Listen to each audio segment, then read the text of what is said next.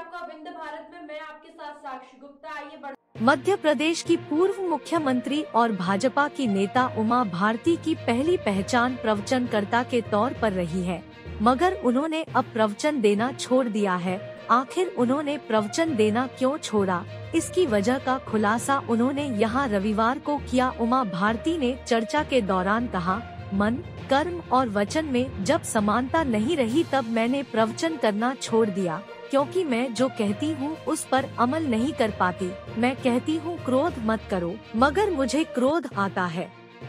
मैं कहती हूँ, अहंकार मत करो, मगर मैं अहंकारी हूँ और मैं कहती हूँ कि सुख सुविधा से दूर रहो, मगर मुझे अच्छी अच्छी गाड़ियाँ चलाना अच्छा लगता है।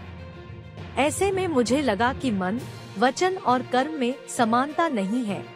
इसलिए प्रवचन छोड़ देना चाहिए। पूर्व मुख्यमंत्री ने कहा कि वह विद्याराजे सिंधिया के ज़रिए विश्व हिंदू परिषद से जुड़ी वह जब बहुत छोटी थी, उनके पास लोग आकर सवाल जवाब करते थे। उन्होंने कहा, बचपन से ही मैं अध्यात्म से जुड़ी हुई हूँ। मुझे लोग चमत्कारी बालिका कहते थे इससे पहले।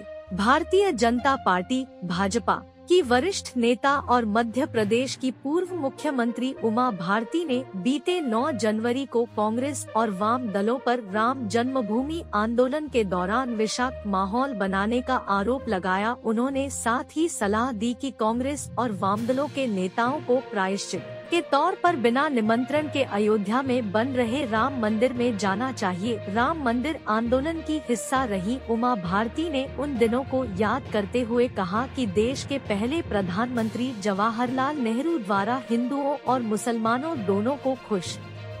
रखने की कोशिश के कारण अंततः 6 दिसंबर उन्नीस सौ बानवे को बाबरी ढांचे का विध्वंस हुआ। भारती ने दावा किया कि उन्नीस सौ उनचास में रामलला के प्रकट होने से पहले भी अयोध्या के विवादित ढांचे में नमाज़ नहीं पढ़ी जाती थी।